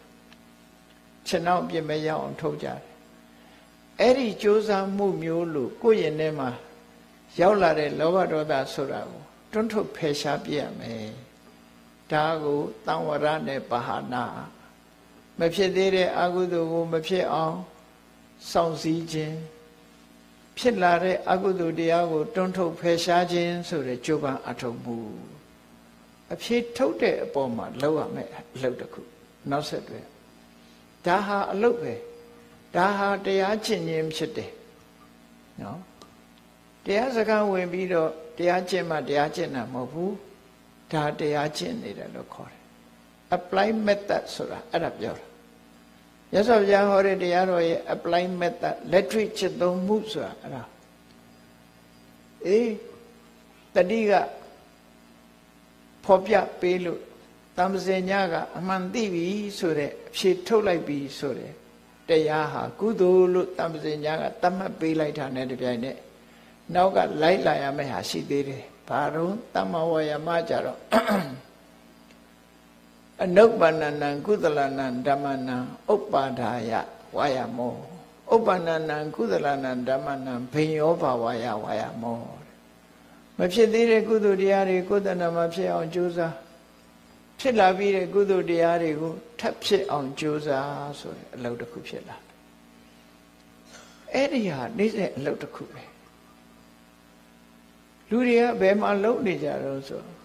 ရုပ်ခန္ဓာကိုယ်မှာကျတော့အဲ့ဒီတိုင်းလှုပ်နေတာဒါသိချာရုပ်ခန္ဓာမှာဆိုရင်အေးနှုတ်သီးလေးခြုံကြည့်သွားလေးဖြဲကြည့်သွားတွေညစ်ပတ်နေရင်ဖြူအောင်တိုက်တယ်မျက်နာမှာအညစ်အကြေးရှိရင်ပျောက်အောင်လုပ်တယ်ဟော physical cleaning ကြတော့တည်တည်ချာချာလုပ်ကြအိမ်တိုင်းအိမ်တိုင်းမှာမှန်ကလေးတွေထားကြ ဆမင်ဖီးတယ်ဖြူနေရင်ဆေးဆိုးဦးမယ်နော်စနစ်တကျဖီလိန်ပြင်ဆင်ပြီးကိုယ့်ကိုယ်စမတ်ကြတယ်ထင်မှပြင်မဲ့ထွက်တယ်ပြင်ရတယ်ရုပ်ခန္ဓာကိုပြင်ရပါတယ်မပြင်ရဘူးမဟုတ်လူချတဲ့သွားကိုယ်ကသွားလို့ပဲဖြစ်မှာအဲ့ဒါပြင်းတယ်လို့နောက်အလုပ်တစ်ခုမမေ့ပါနဲ့နောက်အလုပ်ကပါတော့ တတိတမ္ပစညာနဲ့စိတ်ကိုပြင်းပါတတိတမ္ပစညာနဲ့စိတ်ကိုပြင်းပါပြင်ဖို့ရတတိရတာတတိအစိုးကောင်းခွဲခြားသိတာကတမ္ပစညာတတိနဲ့တမ္ပစညာနှစ်ခုပေါင်းစပ်လိုက်ပြီးအဖြေထွက်လာတဲ့အခါမှာကြိုးပမ်းအထောက်မှုကဝီရိယလို့အဲ့ဒီသုံးရပေါင်းစပ်လိုက်ပြီးဆိုလို့ရှိရင်ကောင်းမြတ်တဲ့အခြေအနေတစ်ခုရရှိလာမှာဖြစ်ပါတယ်။ တေခဏီအချိန်မှာဒီလိုလေ့ကျင့်ထားပြီဆိုရင်ကိုယ်စိတ်ထဲမှာဝင်လာတဲ့အရာကိုကုသိုလ်အောက်သို့ခွဲခြားသိသည့်အတွက်ကြောင့်တတိတံစင်ညဖြစ်ပေါ်လာတဲ့အခါမှာတမဝါယမဆိုတဲ့မှန်ကန်တဲ့အတွေးမှန်ကန်တဲ့လုံလဝိရိယနဲ့ဖယ်ရှားပြစ်ဖို့အလွယ်တကူဖြစ်လာမှာဖြစ်ပါတယ်အနုမို့ဆိုရင်ဖယ်ရှားနိုင်မှာမဟုတ်ဘူးခုနယဟန်ဟာ နှစ်ပေါင်းများစွာတရားကျင့်လာတာဖြစ်တော်လဲပဲတေဂန်နီးမှာဗိမြက်ကဗိမြက်ကသူ့ရဲ့လက်ပင်ကိုလာပြီးညှိနေတယ်လို့စိတ်နှလုံးထဲမှာယူကျုံမရခံစားရတဲ့အခါမှာဘဝကူကောင်းသွားရှာဘူးထို့တူပဲတိတ်တဆိုတဲ့ယဟန်ရဲ့ဘဝကိုလည်းကြည့်လိုက်အောင်သူဟာတရားအထုတ်နေတဲ့ကိုတော်တစ်ပါးပဲသီလလည်းရှိတယ် သို့တော့သူ့ရဲ့ညင်မကသူရလာတဲ့အဝတ်ကျမ်းလေးကိုစနစ်တကျပြင်ဆင်ရက်လုပ်ပြီးတော့ချောချောမောမောဝတ်လို့ကောင်းတဲ့သင်္ကန်းလေးဖြစ်အောင်ပြုပြင်ပြီးသင်္ကန်းအဖြစ်ချုပ်ဆိုးပြီးနှမကတည်တည်ချာချာလှုပ်ပေးလိုက်တဲ့အဝတ်ကလေးကိုသင်္ကန်းလေးကိုလက်ဖြင့်ကကြရင်ဒီသင်္ကန်းလေးယုံပြီးတော့ ဆွမ်းခံသွားမယ်ဆိုတဲ့အတွေးလေးနဲ့ဒုက္ခများနေတာဒီသင်္ကန်းလေးပေါ်မှာသဘောကျပြီလက်ဖြင့်ကျမှဝတ်မယ်ဒီအစိတ်ဆွဲလေးရှိသွားကံမကောင်းအကြောင်းမလားတော့ညမှာယောဂဝေဒနာရပြီအဲ့ဒီသင်္ကန်းလေးကိုဝတ်မသွားရတော့ဘူးဆိုတဲ့အတိလေးသိလာတဲ့အခါမှာသင်္ကန်းလေးကိုဝတ်ချင်တဲ့စိတ်ဆန္ဒလေးဟာတွန်းလှန်ပြလို့မရသည့်အတွက်ကြောင့် ဝတ်ချင်တဲ့စိတ်ဆန္ဒသင်္ကန်းပေါ်မှာလွှမ်းမိုးနေတဲ့လောဘကလေးဟာမတိပတာလေးဖြစ်တော်လဲပဲအဲ့ဒီလောဘရဲ့ဆောင်ကျဉ်မှုကြောင့်သင်္ကန်းထဲမှာတန်လေးသွားဖြစ်တယ်ဆိုတဲ့ဇာလန်းလည်းပဲအလုံးကြဖို့နေကြအဲ့တော့စိတ်ဟာဘလောက်ဒုက္ခပေးတယ်စိတ်စိတ်အခြေအနေပေါ်ကြည့်ပြီးအကုသိုလ်တွေကဘလောက်ဒုက္ခပေးတယ်ဆိုတာစဉ်းစားကြည့်ပေါ့တရားအထုတ်ထားတဲ့ပုဂ္ဂိုလ်ပဲဖြစ်စေအဲ့ဒီအချိန်မှာဒါလေးကိုတွန်းလှန်မှုမေးလျော့သွားတာဟာ တတိတံစင်ညာအာနေခဲ့လို့ပဲလို့ပြောမှာဖြစ်တယ်ပေါ့တတိတံစင်ညာနဲ့လေ့ကျင့်ရမယ်လေ့ကျင့်လိုက်တဲ့အခါဩငါဒီသင်္ကန်းဝှချင်နေတာကိုကလောဘဖြစ်နေတာပဲဆိုတဲ့အတွေးလေးမဝေးရတော့ကောဘာဖြစ်မလဲနော်ကြံတဲ့ကိုယ်တော်တွေလှူလိုက်မယ်ဆိုတဲ့စိတ်မဟုတ်ဘဲနဲ့ဆွဲလန်းထားသည့်အတွက်ကြောင့်အဲ့ဒီအစွဲလေးကြောင့်တန်ဘဝရောက်သွားတယ်ဆိုတဲ့ဇလန်းနဲ့ရှိတာအေးဒါကြောင့်မို့ ဘုန်းကြီးတို့တွေကိုယ့်ကိုယ်လည်းထင်ကြီးလို့မရဘူးအထင်သေးလို့လည်းမရဘူးမြတ်စွာဘုရားရဲ့ဆုံးမတရားတော်တွေနဲ့ပုထုဇဉ်ဆိုတာဟာအမြဲတမ်းပြုပြင်နေမှပုထုဇဉ်တို့ရဲ့ဘဝသည်တတိတံစင်ညလွတ်သွားတာနဲ့တပြိုင်နက်အကုသိုလ်ဆိုတဲ့ကျိုးခွင်းကလည်းပင်လာဆွတ်မှတေချတယ်အဲ့ဒီအကုသိုလ်ကျိုးခွင်းကြီးလည်းပင်လာမဆွတ်နိုင်အောင်မြဲတမ်းတတိဆောင်ကြအောင်ထိုတတိ ရှိသလိုထိုတတိရဲ့အဖြေထုတ်ပေးနိုင်တဲ့တမ္ပစင်ညနဲ့တွဲဖက်ပြီးတော့နေ့စဉ်ဘဝမှာလေ့ကျင့်နေချရမှာဖြစ်တယ်ဒါကြောင့်မို့လို့ဒီကနေ့တရားကောင်းစဉ်မှာတတိတမ္ပစင်ညနဲ့နေ့စဉ်ဘဝလို့ဒီလိုပြောတာဖြစ်တယ်ဟောအဲ့ဒါလိုလေ့ကျင့်ရရသော်ဘုရားကလေ့ကျင့်ပုံလေ့ကျင့်နည်းတွေကိုမဟာတတိပရဏသုံးမှာဟောထားတယ်ဒီမှာ တရားဓမ္မတွေကိုပြသပေးနေတဲ့ဓမ္မဒုဒဆရာတော်အရှင်ပညာဇောတတို့အချိန်ချင်းတရားပြဟောထားတဲ့ထဲမှာတတိတမ္ပစညာဆိုတာပါပြီးသားပဲအဲ့တော့အချင်းချင်းလေးပြောရမယ်ဆိုလို့ရှိရင်လေ့ကျင့်ရမှာတော့ကိုယ့်ရဲ့လှုပ်ရှားမှု အမူအရာတိုင်းမှာတတိရဲ့တမ္ပစညာရဲ့ဒီနှစ်ရက်တွဲဖက်နေဖို့လိုတယ် ဆိုပါတော့ထိုင်နေရာကနေရှေ့ကိုရွှေ့မယ်ဆိုလို့ရှင်ထိုင်နေရာကရှေ့ကိုရွှေ့ပြီဆိုတာတတိထားမိဖို့နံပါတ်1တတိထားလိုက်တာနဲ့တပြိုင်နက်တတိထဲမှာရှေ့ကိုရွှေ့မယ်လို့ဆိုတဲ့တတိပေါ်လာလိုက်တာနဲ့တပြိုင်နက်ရွှေ့ခြင်းရဲ့အကျိုးအပြစ်ကိုဆင်ခြင်လိုက်အောင် မရွှေ့ခင်ရှေ့ခြင်းရဲ့အကျိုးပြရှေ့ရှေ့ကိုငါတိုးလိုက်မယ်တိုးလိုက်ရင်ရှေ့မှာဘာရှိလဲတစုံတရာထိခိုက်เสียရှိသလားဆင်ញင်စဉ်းစားလိုက်ပါရှေ့ကိုရွှေ့ဖို့ရွှေ့မယ်ဆိုတာကိုအမှတ်ရတာကတတိအကျိုးရှိမရှိဆင်ញင်စဉ်းစားတာကတမ္ပစညာနောက်ကိုဆုတ်တော့မယ်ဆိုရင်လည်းပဲ အမှတ်ရလိုက်တာငါနောက်ကိုဆုတ်တော့မယ်တတိနောက်ဆုတ်လိုက်ရင်အကျိုးရှိသလားအပြစ်ရှိသလားဆိုတာစင်ញင်သုံးသပ်တာမသိဘူးဆိုလို့ရှိရင်နောက်ကိုဆိုပါစို့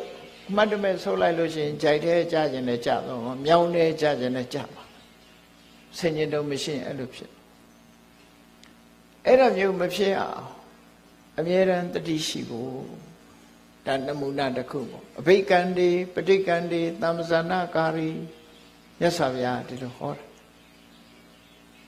ဟောနောက်တစ်ခုကျတော့လက်ကွေးခြေဆန်းတာကအစပြီးတော့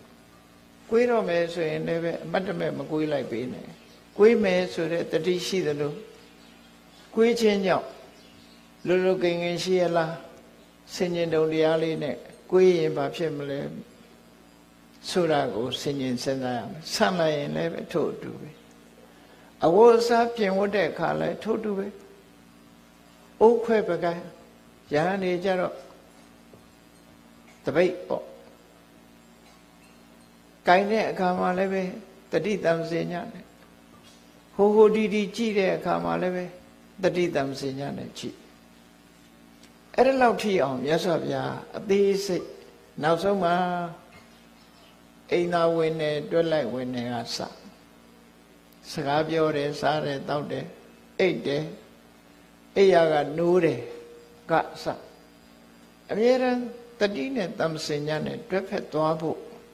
မြတ်စွာဘုရားတတိထားဖို့လေ့ကျင့်ဖို့ဆိုတာကိုမဟာတရိပရဏသုတ်တံမှာဟောပြောထားတာရှိပါတယ်ဒါတွေကနေ့စဉ်ဘဝမှာ လေ့ကျင့်ပြီးတော့လောက်ကင်သွားမယ်ဆိုလို့ရှိရင်နံပါတ်1အမှားယွင်းနေမယ်အရာရာကိုတတိထားတတ်လိမ့်မယ်အရာရာမှာဆင်ញင်တုံတရားနဲ့စဉ်းစားဉာဏ်တွေတိုးတက်လာလိမ့်မယ်အလုပ်တစ်ခုလုပ်တိုင်းလုပ်တိုင်းဟာစီးပွားရေးအလုပ်လုပ်ရင်လည်းအောင်မြင်လိမ့်မယ်နော်စီးပွားရေးအလုပ်လည်းအောင်မြင်တယ်လူမှုရေးအလုပ်လည်းအောင်မြင်တယ်ဘာလုပ်လုပ်လို့အမှားမရှိ အောင်မြင်မှုကိုရနိုင်တဲ့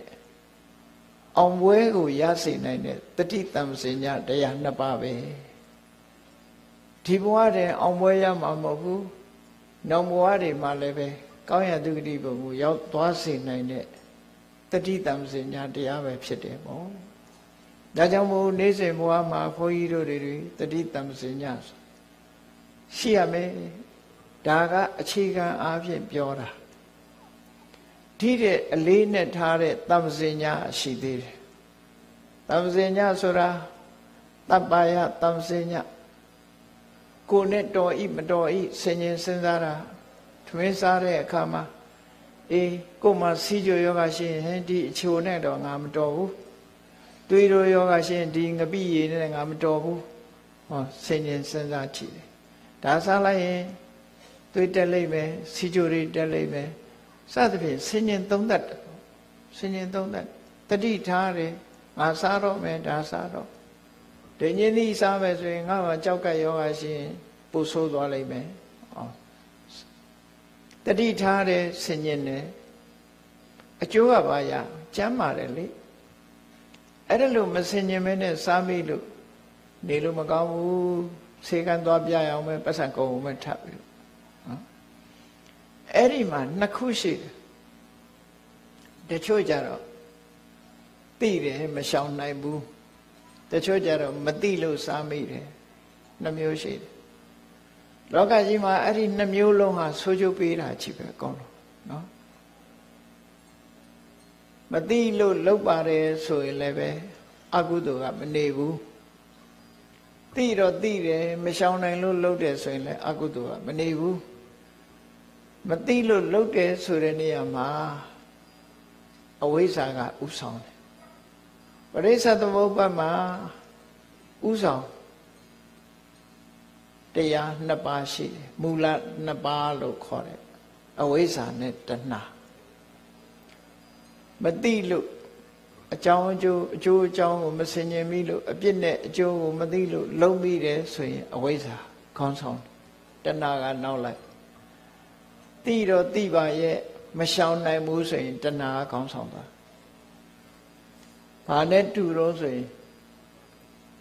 လူငယ်လူရွယ် drug addict ဆေးဝါးဆွဲသွားတဲ့လူငယ်ပထမဆုံးကတော့တငယ်ချင်းအပေါင်းအသင်းတွေကဟာတကယ်ချင်းဒါလေးရှူးကြည့်စမ်းကော်ရှူတာအစပေါ့နော်ဒါလေးနည်းနည်းဒီဆေးလေးစားကြည့်စားကြည့်လိုက်ရင်မင်းဒါစိန်ရှိတယ်နဲ့ သွေးဆောင်တဲ့အခါမှာတကယ်အကျိုးအပြစ်ကိုမသိသည့်အတွက်ကြောင့်စမ်းမိသွားတယ်အဲ့ဒါအဝိဇ္ဇာကြောင့်ဒုက္ခရောက်တယ်လို့ခေါ်တယ်နောက်ပိုင်းရောက်တဲ့အခါကျတော့မကောင်းမှန်းသိတယ်အိမ်ကလည်းမကြည်တော့ဘူးပိုက်ဆံလည်းမပေးတော့ဘူးဆေးကလည်းအပြတ်မခံနိုင်ဘူးဆိုတဲ့အနေအထားမျိုးရောက်လာတယ်ဒုက္ခဒုက္ခတွေရောက်မှလည်းသိတယ်မကောင်းမှလည်းသိတယ် သို့တော့မရှောင်နိုင်တော့ဘူးဆွဲလန်းသွားပြီအဲ့ဒီကြတော့တဏှာကဥဆောင်တယ်အပရိစ္ဆေသမုပ္ပါမှာအဝိဇ္ဇာနဲ့တဏှာတလဲစီဥဆောင်တာအဝိဇ္ဇာတဏှာနေတိတဏှာအဝိဇ္ဇာနေတိဆိုပြီးတဆင့်စီသွားတာဒါကြောင့်မလို့လောကလူတွေမှာတိတိကြီးနဲ့လှုပ်တယ်ဆိုတာကြတော့တဏှာရဲ့လွှမ်းမိုးခံရတာ မသိလို့လှုပ်တယ်ဆိုတဲ့လူကအဝိဇ္ဇာရဲ့လွှမ်းမိုးခံလောကမှာသိလို့လှုပ်တဲ့လူနဲ့မသိလို့လှုပ်တဲ့လူမသိလို့လှုပ်တဲ့လူကများပါလိမ့်မယ်ဘုရားဘာသာတွေတရားဓမ္မတွေခဏခဏနာတယ်သိတယ်သိရတဲ့နဲ့ဟောဒါလေးတော့လုံမှပဲတကယ်ချင်းပေါင်းသိနေနဲ့အရက်လေးပါမှလူရဝင်တယ်ထင်ပြီးတော့လူရဝင်တယ်လို့ထင်တာကလည်းအဝိဇ္ဇာပဲ အေးဒါလေးလုံမှပဲသို့သောနောက်ပိုင်းကျတော့ဒါလေးမပါနေလူထိုင်လို့မကောင်းဘူးမကောင်းမှန်းတော့သိပါရဲ့တစ်ခွက်လောက်တော့ချလိုက်အောင်မယ်ဆိုတဏှာဖြစ်ပါဗျာအဲ့တော့တဏှာကလည်းအဝိဇ္ဇာကိုဆက်ဆောင်သွားအဝိဇ္ဇာကလည်းတဏှာကိုဥဆောင်သွား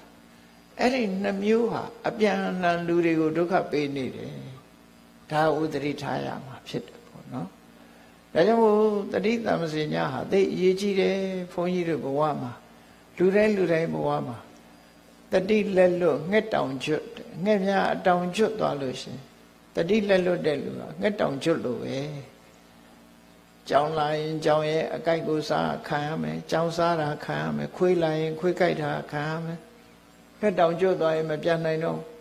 မြောက်တစ်ကိုင်းလွတ်တယ်မြောက်ကလည်းတစ်ကိုင်းလွတ်ရင်ဘုံနဲ့အောက်ကြမှာပဲ အောက်ကြရင်ဘေးရန်အန္တရာယ်နဲ့ကြုံမှာပဲဒါကြောင့်မို့တတိတံစင်ညာဟာအမှန်တမ်းအရေးကြီးပါတယ်နေ့စဉ်ဘဝမှာကျင့်သုံးရမယ့်တရားတွေများစွာရှိတော်လည်းပဲတို့ရဲ့နေ့စဉ်ဘဝမှာကိုယ့်ရဲ့စိတ်ဓာတ်ကိုဒီပြုပြင်ထိမ့်သိမ့်မှုအတွက်တတိနဲ့တမ္ပစေညအမှတ်ရခြင်းနဲ့ဆင်ញင်သုံးသက်ခြင်းဆိုတဲ့ဒီတတိနဲ့ပညာ ဒီနှစ်ခုဟာအမှန်တမ်းအရေးကြီးဒီနှစ်ခုဟာလည်းပဲနာဟိတတိဝိရိတာပညာနာမအဋ္ဌိတတိမပါရင်ပညာမဖြစ်ဘူးတဲ့ဒီလိုဆိုထားတယ်။ဘာကြောင့်လို့ဆိုရင်တတိနဲ့ပညာဘလို့ကွာသလဲဆိုရင်စဉ်းစားကြည့်မယ်ဆိုရင်စာအုပ်ဖတ်ချင်တယ်စာအုပ်တော့ကိုဖတ်ချင်တယ်ဆိုရင်စာအုပ်ကိုဖွင့်ပေးတာလက် မျက်စိကစာအုပ်ကိုမဖွင့်နိုင်ဘူးစာကိုဖတ်မှာကမျက်စိကဖတ်မှာအဲ့တော့လက်မပါလို့ရှိရင်လေစာအုပ်ဖတ်ချင်တဲ့နေရာမျက်စိကမြင်လို့မရဘူးဒါကြောင့်မို့လက်ကစာအုပ်ကိုဖွင့်ပေးရတယ်မျက်စိကစာအုပ်ကြည့်ရတယ်အဲ့ဒါလို့ပဲတတိဟာလက်လို့ပဲဖွင့်ပေးတယ်မြင်တာကကြတော့ပညာကမှမြင်တယ်လို့ဒီနှစ်ခုကပေါင်းဆက်ပြီးတော့လောက်ရတာ တတိကအာယုံကိုယူမပေးလို့ရှိ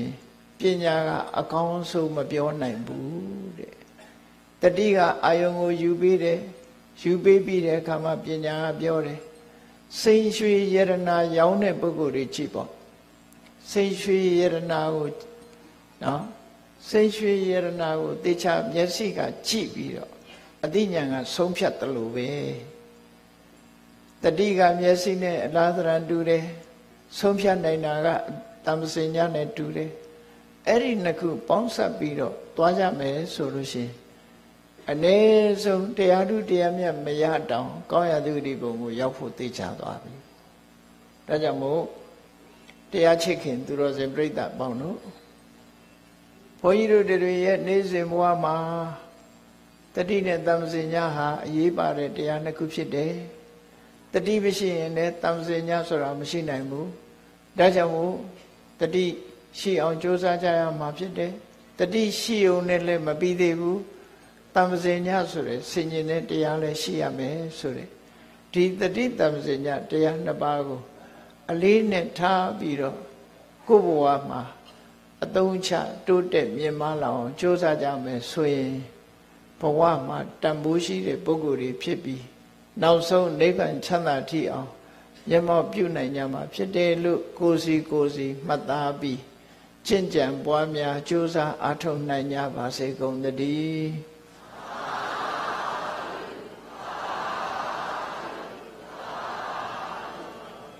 မေတ္တာပို့ကြရအောင်တတဝါများစွာဖေးရန်กว่า ချမ်းသာကြပါစေတတဝါများစွာဖေးရန်กว่าချမ်းသာကြပါစေမေတ္တာရေချမ်းသုံးငါဖြံ